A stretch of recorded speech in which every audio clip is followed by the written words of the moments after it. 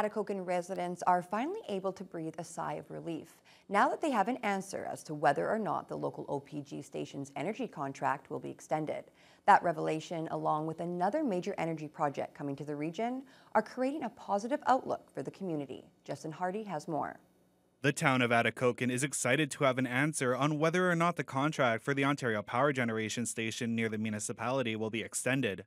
The biomass power plant represents over one third of the town's tax base, and the producer of the pellets used in the station is also situated in Atikokan. Mayor Rob Ferguson, who retired from his longtime career at OPG in January, says they have received word from the province that the contract will be extended. They haven't put pen to paper and uh, sealed the deal yet, but they have made an announcement that it's going to be five years and it's going to be very similar to what the contract looked like for the original 10.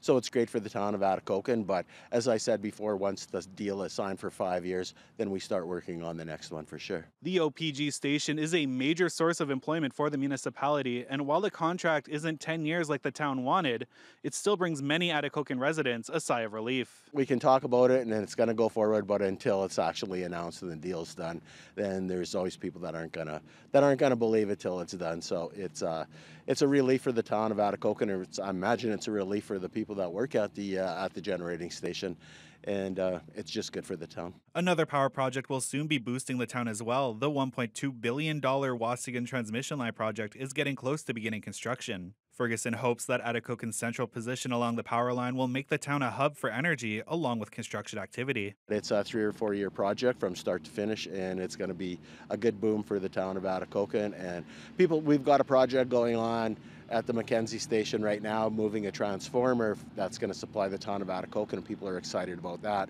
That's only a sliver of what the actually Waasigan line is going to bring to the town, so it's very exciting for the town. Ferguson says that Hydro One is a great tenant for the town and he's looking forward to further opportunities that could arise from the project. Justin Hardy, TBT News.